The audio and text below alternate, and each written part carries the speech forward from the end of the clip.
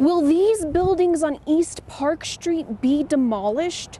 Citizens continue to raise their concerns at Council of Commissioners meetings to stall the demolition. On April 20th at the Butte Silver Bow Council of Commissioners meeting, citizens spoke about the report used to make the decision to demolish what used to be the Butte Rescue Mission thrift store and other historical buildings on East Park Street. It's, it just breaks my heart to see Butte squander their historic resources, which are the last remaining buildings.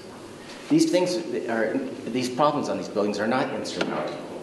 Jim Ward says he feels the report is inaccurate because every building in Butte would be considered for demolition under the guidelines of the limited assessment report.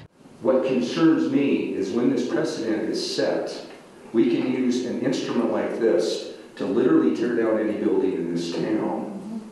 Any building in this town. According to professional practice guidelines, structural condition assessments of existing buildings Limited scope structural assessments are intended to address specific structural elements of a building, so the scope of the assessment may be limited to those structural elements of direct concern. Brian McGregor says he appreciates the Council of Commissioners listening to the citizens' concerns.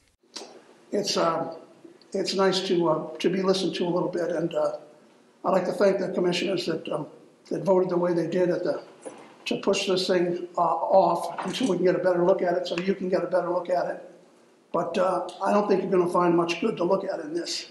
The demolition will be discussed at the next Council of Commissioners meeting on April 27th in Butte. Caitlin Aguiles, MTN News.